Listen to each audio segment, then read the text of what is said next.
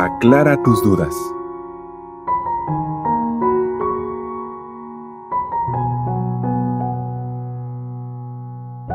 Todos los años se bautizan miles de jóvenes cristianos. ¿Eres uno de ellos?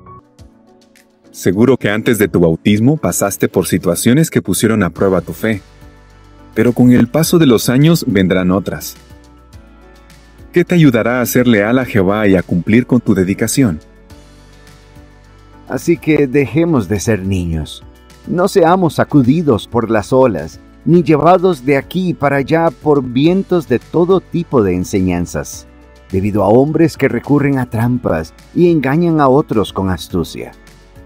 Joven, Satanás intentará que no crezcas en sentido espiritual. Una de sus armas son las dudas. Él quiere que dejes de confiar en lo que enseña la Biblia.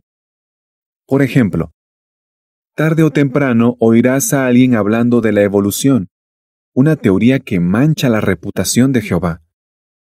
Puede que antes no pensaras mucho en este asunto, pero ahora que ya eres adolescente, quizás tus maestros te lo enseñen directamente en clase. Lo que digan tal vez suene lógico y convincente, pero ten en cuenta que quizás nunca han examinado a fondo las pruebas de que existe un creador. Recuerda lo que dice Proverbios 18:17. El primero en presentar su caso parece tener la razón, hasta que viene la otra parte y lo interroga. ¿Qué principio encontramos en estas palabras?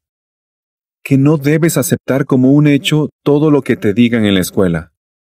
Más bien, debes estudiar a fondo lo que dice la palabra de Dios. Busca información en nuestras publicaciones. Propóngase esto. Lea un artículo o vea un video de la serie ¿Lo diseñó alguien? ¿Y los folletos? ¿Es la vida obra de un creador?